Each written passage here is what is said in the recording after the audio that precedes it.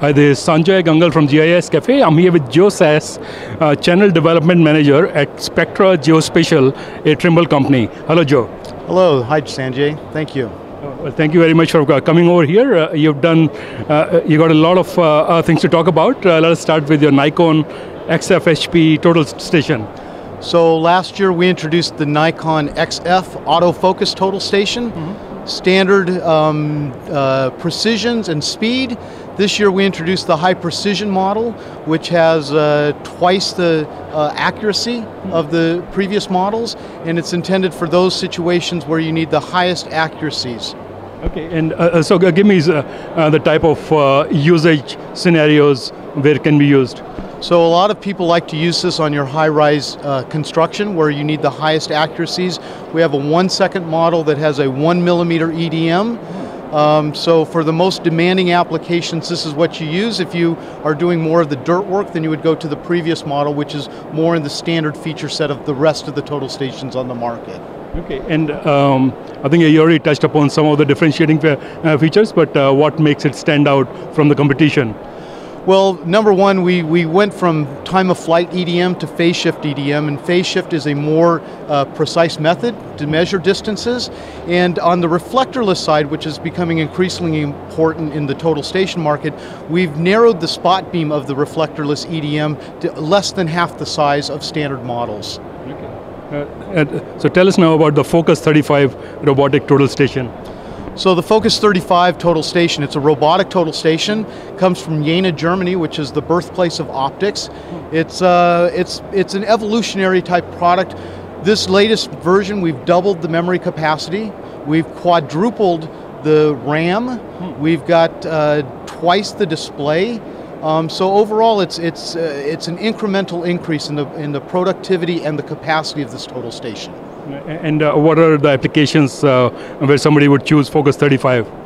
So anybody that wants a very effective, very productive, very uh, efficient, very quick uh, method to collect data, this is the one. It, it follows your prism automatically. You press one button it takes a measurement in less than a second. So it's a very efficient model. You can work one man, you can work two man. Uh, it's, it's the next generation of total stations that are starting to emerge in the third world countries, which have never really experienced total station in the robotic mode before. And, and what is the robotic mode? So robotic means that I don't have to stand behind the total station to run it. I can be remote. I can hmm. stand where the chain man is typically at on the reflector side of the instrument. And so the instrument doesn't need to be aimed anymore. It doesn't need any man standing behind it. It can just follow me around and through a radio connection, uh, I can control it from the rod. Uh, uh, that's pretty cool. And uh, what makes uh, this one stand out from the competition? Well, the, the thing I'm most proud about is that it's from Germany. I mean, Germany is the birthplace of optics, and it's uh, world renowned for its engineering prowess. We're in Jena, Germany, which is, uh, again, I mean, this is where optics were born. So, uh, excellent, excellent quality. Uh, because we're a Trimble company, we're able to parlay some of our other resources uh, from uh, some of our other divisions, like our angle encoders, which are probably among, they are the best in the world. Okay. And uh, now tell us about your Survey Pro software. Survey Pro software is the oldest, or should I say the most mature, continuously operating survey software in our business. It's 27, 28 years old, and it's been a continuous evolution of incremental improvements. For instance, now we've got this uh, um, automatic geolock, we call it, where if the, if the total station loses the prism, it will automatically go looking for it again. Um, Survey Pro is customizable. It's the only software that lets me customize my home page or customize my menu or customize my map page. Um, it does everything. It supports total stations, it supports uh, robotics, it supports digital levels, uh, and it supports GNSS. Um, and again, it's not only limited to my Spectra Precision or Spectra Geospatial brands, we're even open to other third-party uh, um, pieces of hardware. Okay. Uh, so tell us about the ST10 tablet.